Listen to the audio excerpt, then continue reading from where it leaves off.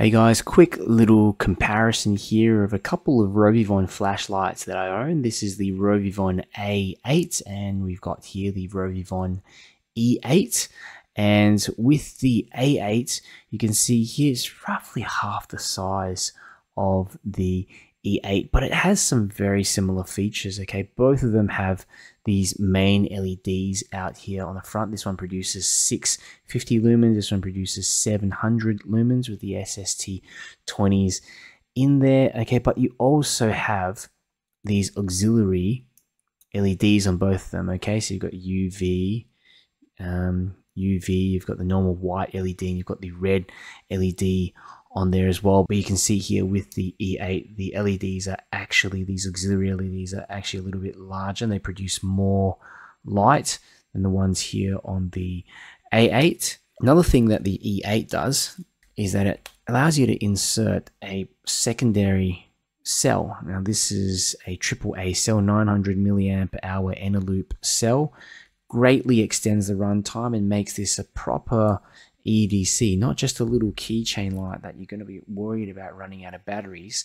Obviously, going to last a lot longer, but it's larger. And, you know, with the A8, if you're using the lower modes, you're going to get some really good runtime out of it anyway. I find the auxiliary modes, these auxiliary LEDs are a lot easier to operate on the E8 as well because you've got only one button here on the A8 where you've got two buttons. So it's simpler. The top button operates the top two LEDs, bottom button operates these three, whereas you need to press a whole bunch of different combinations to get into these different LEDs. It can be confusing at times, but again, smaller, simpler, lighter.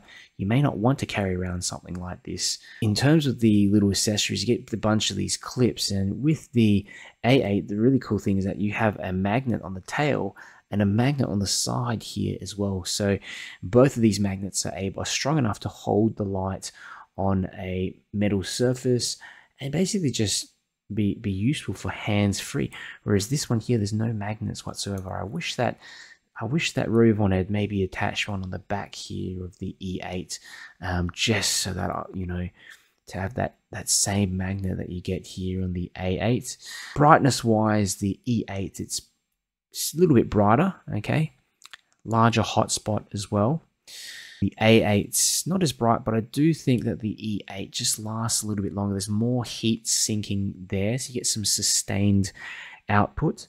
Okay, and even if you drain that main battery in there, and that main battery, that's the same battery that's used in the A8, you can just automatically flip over to that Eneloop, that AAA cell in there, and the, the AAA cell holds three times the capacity of this lithium polymer cell. So, like I said, this makes it a very versatile, very versatile light. Not just that, you can swap the battery on the go as well. So you might be powering the light with the polymer polymer cell and you, this one's run out so you can open it up. The light still stays on and you can swap out with any other any other uh, primary cell out there. So the versatility of this one far exceeds the A8 especially if you in an emergency situation. But again so light the A8 is just super light and you're able to just use this more as a traditional keychain light, which is almost pushing it there. I mean, it looks like a remote control or something like that for your garage door. So anyway, let's have a look at how these both perform in the beam shots. I'm going to compare all my RovyVon keychain flashlights. We're going to start out with the A8 first, and we're just using the main LEDs, okay, not the auxiliary LEDs. So the A8, and I'm going to basically put it on to the highest mode, high, okay, and that is really impressive for just a little keychain light. And look how far this thing throws. The beam is also nice and diffused. I'll go for a little walk and show you what it looks like.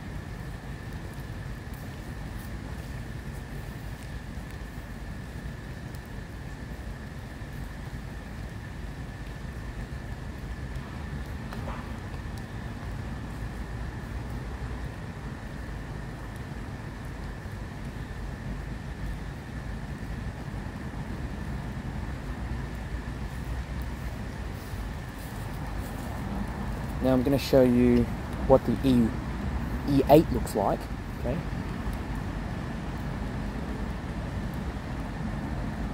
that's the E8. We compare the E8 now to the A8. Okay, the E8's got definitely definitely some more power to it. Um, the hotspot's more pronounced in the center. Okay, whereas you've got the A8 here. Okay, it's just not as bright in the center, and also is not producing as many lumens as the E8. So the A8 and the E8.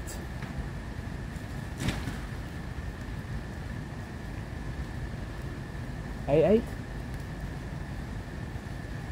E8. A8, starting to get hot. A8, E8. Okay.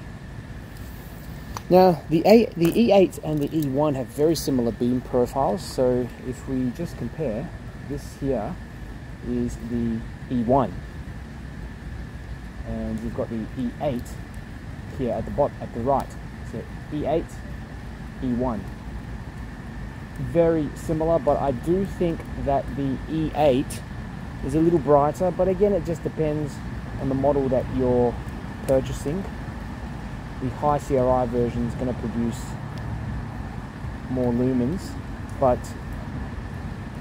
I like how the hotspot's a lot wider. Okay, E1, E8. E1, E8. E1, E8. They're pretty much identical. Uh, I can't tell a huge difference between either of them. Um, but it does seem that the E8 is a touch brighter